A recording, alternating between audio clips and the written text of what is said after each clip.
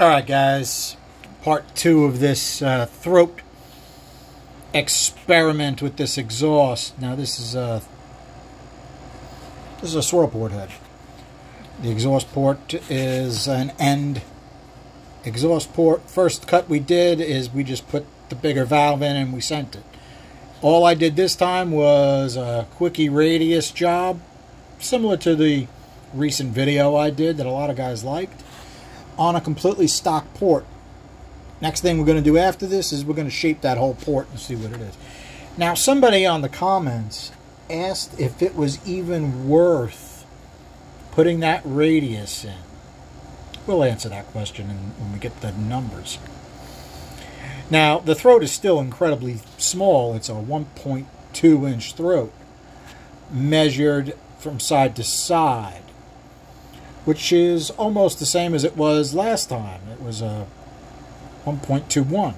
So it was just enough to take the edge off, and that's it. But when you do it, you got to do a little work to that short side. So that's where you gain some area. So it's a little bit wider top to bottom than a 1.2. We can measure that. Okay, from top to bottom, you measure a 1.3. Now, the 165s that I'm working on, they're about 1.3 all the way around, but it's a different shape the exhaust port. So keep that in mind. Why don't we take a look at, uh, this is going to be a short one, so we'll take a look at the last flow numbers versus these flow numbers and see what we did. Okay, the heat's already getting me. I got a big cramp in my side. Not good. All right, so what did we do? This was just the seats, and this is a quick burr radius. Let's put some pluses and minuses on. Okay, as far as straight flow, we're better everywhere. We do have some noise around here that we didn't have on the original. Good to notice, right?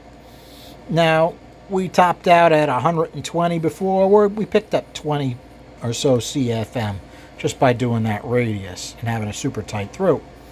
So let's take a look at our our speeds. All of the speeds on the left are the first cut.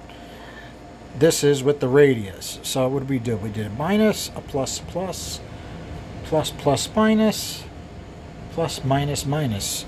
Not a complete winner as far as speeds. That's okay though, because we have a lot more to do.